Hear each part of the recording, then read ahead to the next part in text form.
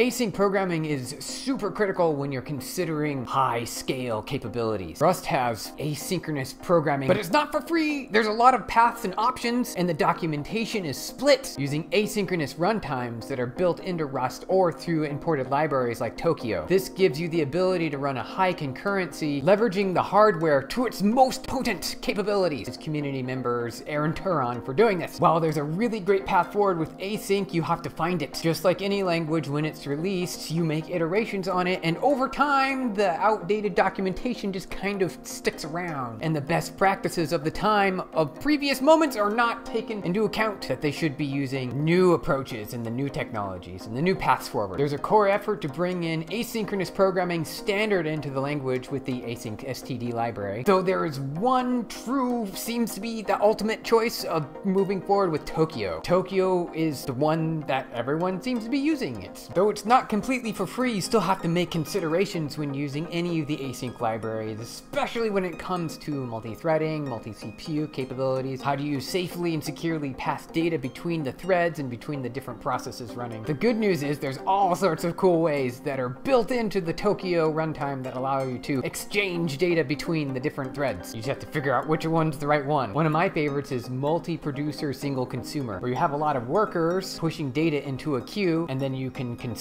data off of that queue to do work in the background or other kinds of scenarios. But it can go both ways. Two of those pushing in either direction. And the good news is they make it really clean and easy for you to implement. There's no baggage or overhead of syntax. This makes it really easy to do things like shared state across different threads. Really, it comes down to architectural decisions. When do you use which of the ones of the data structures for what kind of asynchronous runtime? You might not even need to use asynchronous runtiming, depend on your workload. Usually though, our workloads these days are built on API development. So you might be using something like an Axum web server framework, which lives on top of Tokio to create a high scale, highly concurrent API endpoint. So when you need those high scale, highly concurrent scenarios, use something like an Axum web server and the Tokio framework. However, if you don't need that scenario, there's no real good reason to use an asynchronous IO. Just sort of sit back and use the distributed nature of Rust's runtime with the standard MPSC or other kinds of distributed framework workloads across CPUs and things like that. Either way, Rust is really, really fast and it does a really good job at making sure that your application is going to be stable at runtime. This is why us at PubNub, we've developed and are moving forward with Rust's advanced capabilities. Not only does it make things faster, it also solves a lot of our coding problems and challenges as we evolve our products going forward. This is because of Rust's compiler and its ability to help us make sure we deploy good clean code. Though you can still make some mistakes here or there, it takes care of the majority of the problems.